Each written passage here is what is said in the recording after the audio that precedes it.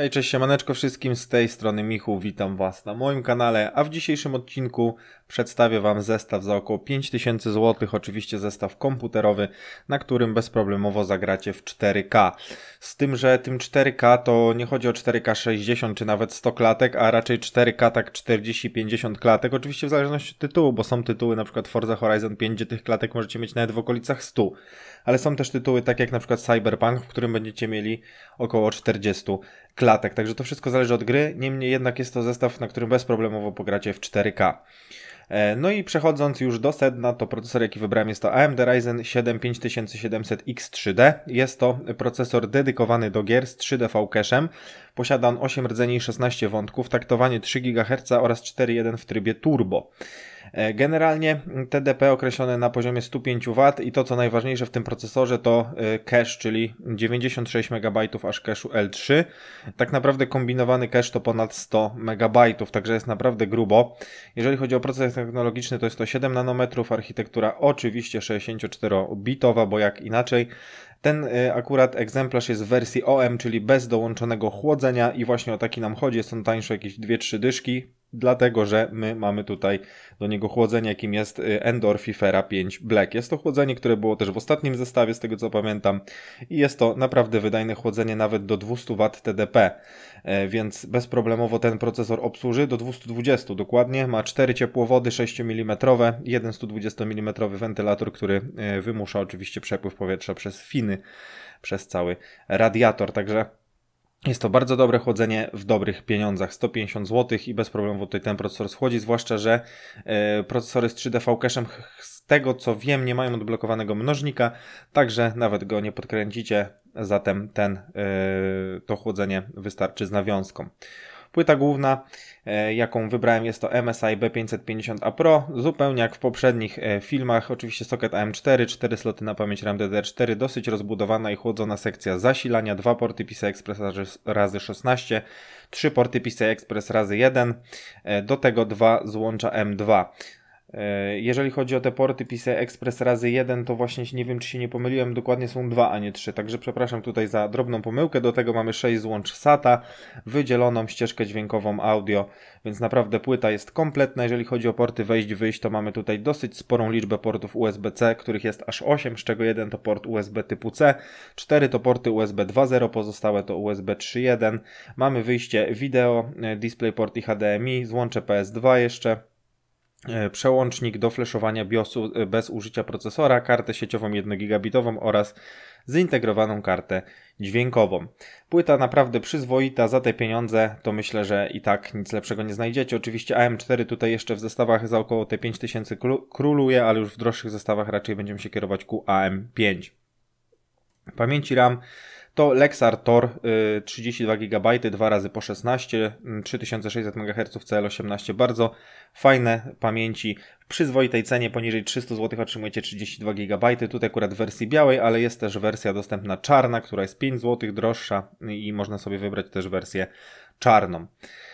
Następnie mamy kartę graficzną, która jest chyba najważniejszym punktem tego zestawu. Jest to e, Sapphire Radeon RX 7800 XT w wersji 16 GB RAMu GDDR6, czyli tego VRAMu nam na pewno nie zabraknie. Jest to naprawdę przyzwoita ilość. E, karta sama w sobie pozwala spokojnie nagranie w 4K, a w tak naprawdę 2K to pogracie we wszystko w naprawdę bardzo wysokich e, wartościach klatkarzu. E, sama karta ma taktowanie rdzenia na poziomie 1800 MHz w trybie boost 2430. Jeżeli chodzi o procesory strumieniowe, jest ich 3840 jednostek ROB 96, teksturujących 240, rdzeni RT mamy 60. E, karta oczywiście operuje na PCI Express 4.0, ta płyta również to PCI Express 4.0 posiada. E, no i mamy 16 GB GDDR6 na 256-bitowej szynie. Jeżeli chodzi o wyjścia wideo, to mamy dwie sztuki HDMI, dwie sztuki DisplayPortów, a złącza zasilania, jakie ta karta potrzebuje, to 2 razy 8 pin, co oczywiście zapewni nam zasilacz, o którym zaraz powiem. Na dysk wybrałem Cruciala P3 plus 1 TB. Oczywiście 1 TB to nie jest dużo na dzisiejsze czasy, ale na start bezproblemowo powinno wystarczyć, czyli na system i kilka gier. E, dysk również jest na PCI Express 4.0, dzięki czemu ma naprawdę, jest naprawdę bardzo szybki, bo deklarowana szybkość odczytu to 5000 MB na sekundę, a zapisu 3600 MB na sekundę, także naprawdę jest przyzwoicie. TBW na poziomie 220 terabajtów. Czy jest to dużo? No jest to 220 razy zapisanie do pełna tego dysku. Raczej nie uda się to Wam zrobić w kilka najbliższych lat. Jeżeli chodzi o nominalny czas pracy, to jest to 1,5 miliona godzin, a dysk i Cruciala naprawdę są w porządku. Tak gdyby się ktoś zastanawiał. Następnie zasilacz i tutaj wybrałem najtańszy możliwy zasilacz, a jednocześnie wydaje mi się, że najlepszy. E, jest to Seasonic G12 GC 750 W. Co jest takiego fajnego w tym zasilaczu? Ano to, że ten zasilacz jest produkowany przez Seasonic i to jest już, to mówi już samo za siebie. Po prostu Seasonic jest to marka, która obok Superflowera jest tak naprawdę wiodącym producentem zasilaczy, które są naprawdę wytrzymałe, naprawdę wydajne i taki zasilacz jak kupicie, to będziecie go używać spokojnie, myślę, że 10 lat, jeżeli oczywiście po drodze się nic nie wydarzy. To jest naprawdę świetna marka. Minusem tego zasilacza, co odnosi się też do ceny, jest to, że kable niestety nie są modularne, tylko są na sztywno przytwierdzone. Jeżeli komuś to przeszkadza, można poszukać zasilacza modularnego, na przykład Deep Coola. Natomiast wtedy cena zestawu wzrośnie. Tutaj za 280 zł naprawdę otrzymujecie porządną elektrownię do waszego sprzętu.